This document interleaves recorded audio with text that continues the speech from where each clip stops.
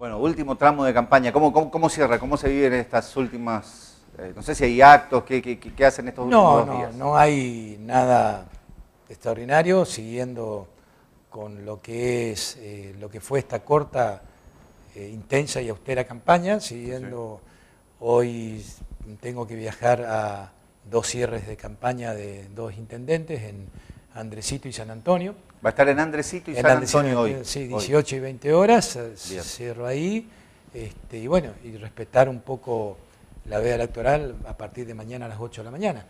Pero en este tramo atender un poco, no, no, cerrando con tranquilidad, con mucha paz, con pensando en lo positivo, sin, sin nada extraordinario, porque eh, yo creo que mirándole a lo que, lo que hacen y compartiendo lo que hacen tanto el vicegobernador y el gobernador, eh, yo tengo la certeza que esto, eh, la campaña de los dos es una prolongación de su gestión.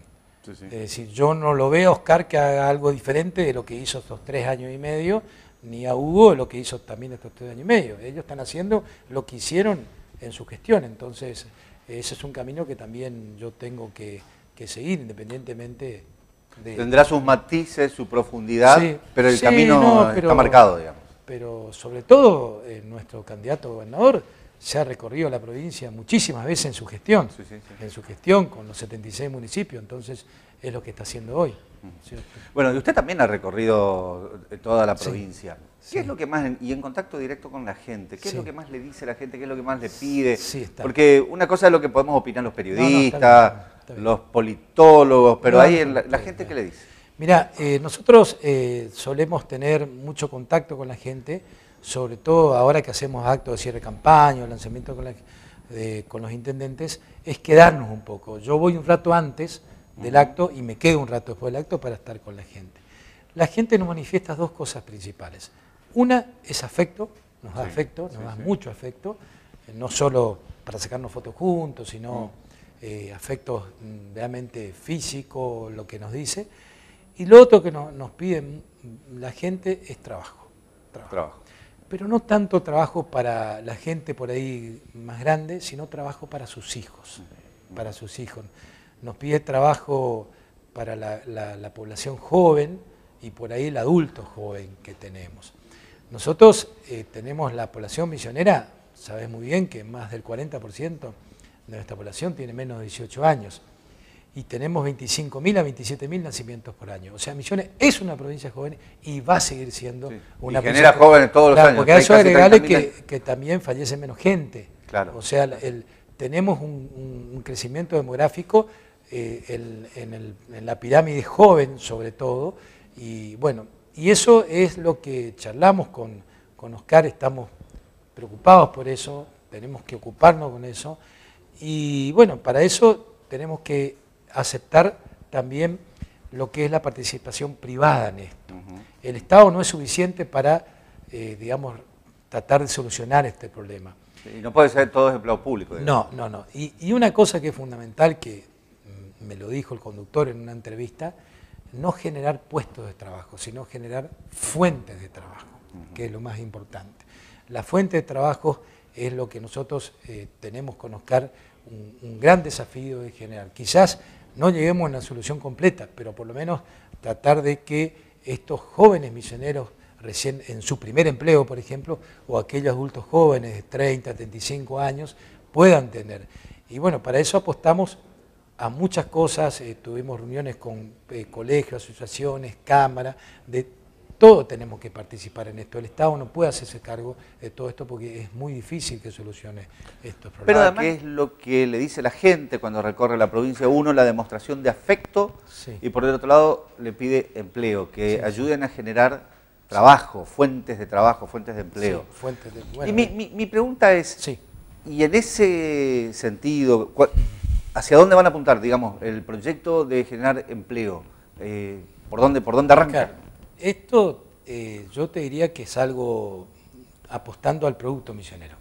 Al producto misionero. Nosotros tenemos en nuestra provincia como polos de trabajo. Tenemos el sector sur que es muy ganadero, eh, el sector nordeste que es de la foresto industria, el sector de, del noroeste que es agricultor. No quiere decir que uno deje de, eh, digamos, de impulsar lo que es la producción, pero lo, creo que una de las mejores soluciones es eh, hacer polos de, producción misionera. Eh, yo lo escuché decir, Oscar, que para el ganado tenemos que tener granos de afuera, digamos. Tenemos la posibilidad de hacerlo acá, lo hacemos acá. hemos tenido gran aceptación en las, en las escuelas EFA, de las, escuelas EFA, la técnica agropecuaria y las escuelas EA, de ampliar el cupo de esto, la tecnicatura. Por eso es eh, tratar de tener contacto, pero para esto es fundamental, Marcelo, tener eh, la información no solo de los ministerios, sino de los intendentes.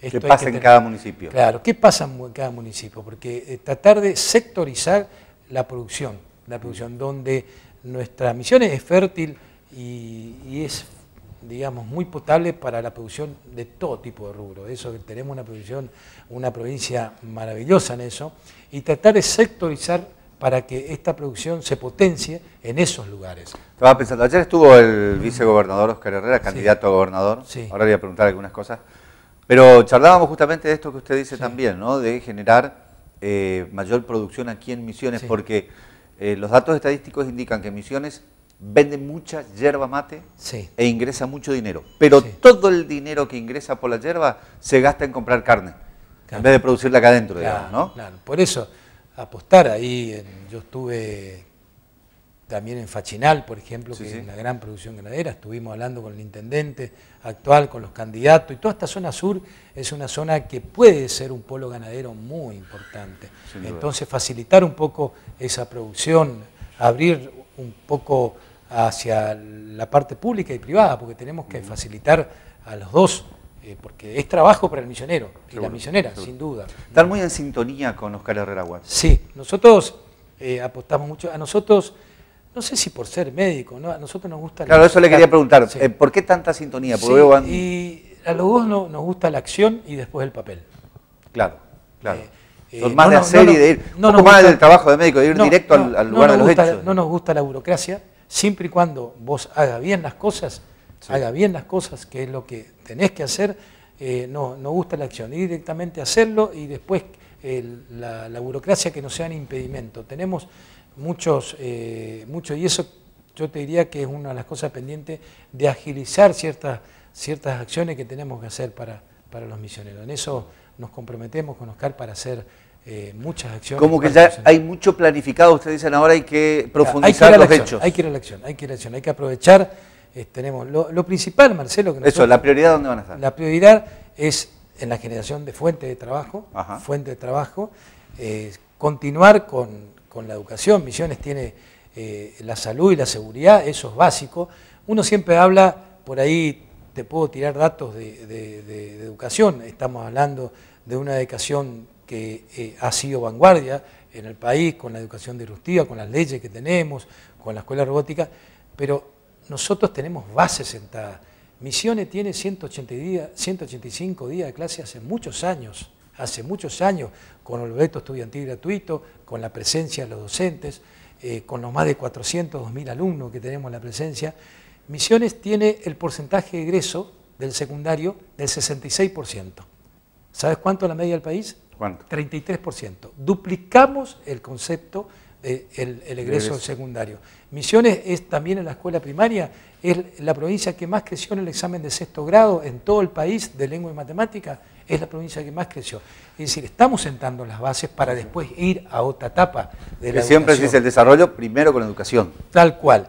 En salud, ni hablar, el índice mundial infantil, la disminución del embarazo adolescente, eh, realmente ha, sido punta, e, es una de las razones por qué yo me involucré en este proyecto, porque siempre admiré el, modelo de salud pública de este país. La, seguridad, yo me pregunto, ¿vos te sentís seguro caminando acá en la provincia o no? Absolutamente. Y bueno, Entonces, eso, no es, una isla. Eso yo, no es casualidad. yo recuerdo mucha gente con la que hablo, incluso de Buenos Aires, y cuando miran la costanera, eso que hacen acá, en otro lado no lo pueden hacer. Mirá, yo ando por la calle y mm, independientemente que ahora tengo más visualizaciones, la gente se acerca, pero yo siempre tengo la sensación y camino por el interior, camino solo, yo no tengo esa sensación de seguridad que no la tengo en otros lugares. No la tengo en otros lugares de la provincia. Yo creo que eso es algo que no es casualidad. Eh, como dice nuestro ministro. Te vas a Buenos Aires a tener que andar con las manos en el bolsillo, el celular y grandes ciudades también. Y como dice nuestro, nuestro ministro de gobierno, dice, mirá, yo no soy muy amigo de las comisarías, yo soy amigo del policía en la calle. Claro. Por ahí no inauguramos tantas comisarías, excepto en lugares, sino lo que hicimos es incorporar gente de seguridad en las calles. Y eso se nota, eso se nota. Por eso te digo, hemos hecho, y esto es importante, el proyecto ha tenido resultados. Ahora nos queda otra etapa, que, y esto no hay que dejar de reconocer, que tiene la gran gestión de un gobernador que ha hecho, eh, siempre digo, Misiones es un ajuste, eh, dique a los ajustes, a la oleada de ajustes nacionales. Claro. Nosotros hemos hecho cosas que el ajuste nacional no ha impactado. frenado. No ha impactado el 100% del ajuste nacional. Y, el, gobernador, tanto acá dentro de la provincia como fuera de la provincia, ha sido un gran responsable de esta frenada de ajustes nacionales.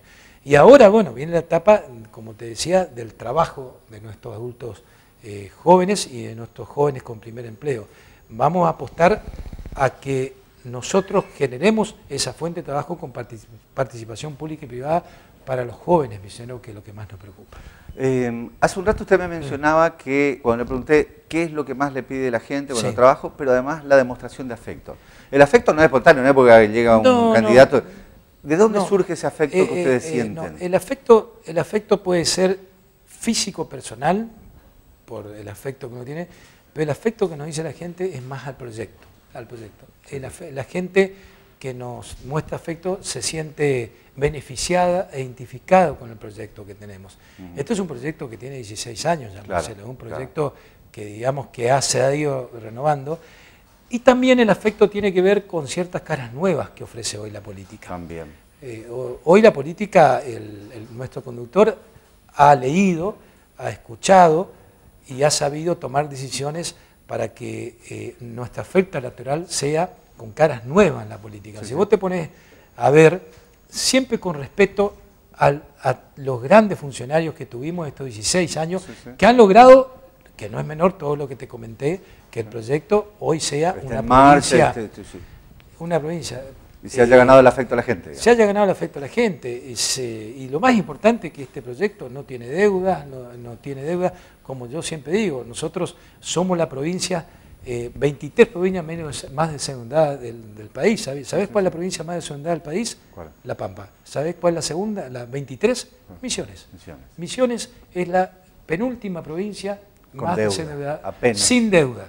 Eh, el, único, la única, el único préstamo que tomó la provincia en todo este periodo de, nuestro, de, este gobernador fue eh, para terminar las viviendas de Itambego Azul, los 400 millones de pesos del IPROA, porque era que había que terminar en ese momento, pero después nunca se emitió deuda, con beneficio a los misioneros. Por eso es que la gente cuando nos demuestra afecto nos habla más del afecto, sigan así, sigan con el proyecto misionerista, aún eh, viendo caras nuevas, aún viendo caras nuevas. Y esas caras nuevas responden a un momento político muy especial que si vos te pones a pensar con un candidato vicegobernador que tiene tres años y medio en, la, política, como los 20 diputados eh, provinciales titulares y siete, la inmensa mayoría son caras, pero no son caras... hasta dirigentes que no me decían, hasta dirigentes, no, lo reconocen. Pero lo importante, por ahí son caras nuevas en la función pública, pero no son caras nuevas en la gestión en la gestión privada. áreas, digamos. Es gente que se ha destacado en su función en la parte privada o, algo público por ahí no tan expuesto. Organizaciones. Organizaciones y que, eh, como yo, volcamos esa gestión en la parte privada hacia la parte pública, aportamos. Eso por ahí es una lectura de un momento político especial, siempre respetando, respetando a lo que, lo que es nuestro proyecto misionista. ¿Sigue con la actividad médica usted? Sí. Sí, ¿qué hace, por ejemplo? Y yo hago consultorio dos o tres veces por semana. La única semana que suspendí fue esta porque estamos con cierre de campaña. ¿Y como vicegobernador? ¿Va a seguir? y ahí creo que va a ser muy difícil. Va a estar complicado. va a estar complicado. Va a estar complicado. Hasta la última semana de campaña. lo que pasa es que la vicegobernación, eh, Oscar me deja una vara muy alta con sus kilómetros recorridos. Claro. Descorriendo.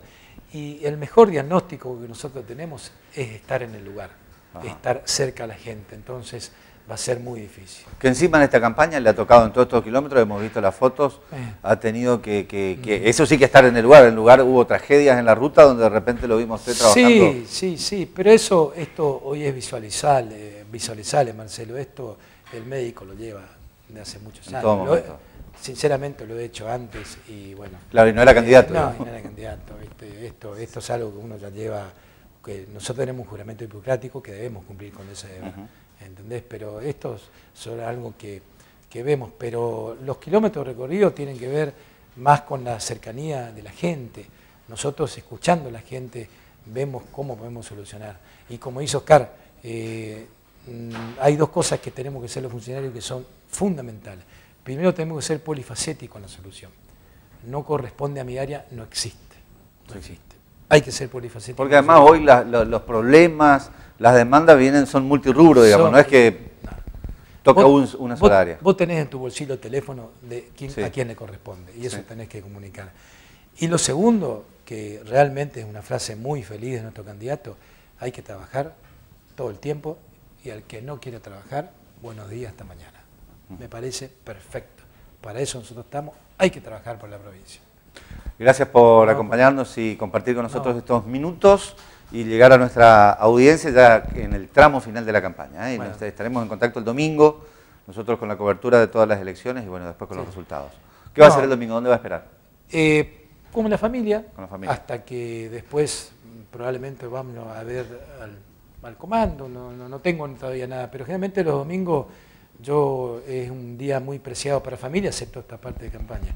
Y bueno, y esperar que el pueblo misionero parece que va a ser un lindo día, eh, que lo que más uno quiere es que el pueblo misionero se exprese, los más de 900.000 misioneros que vayan y se expresen, que es un momento único e histórico para nuestros misioneros y misioneras, que vayan y voten.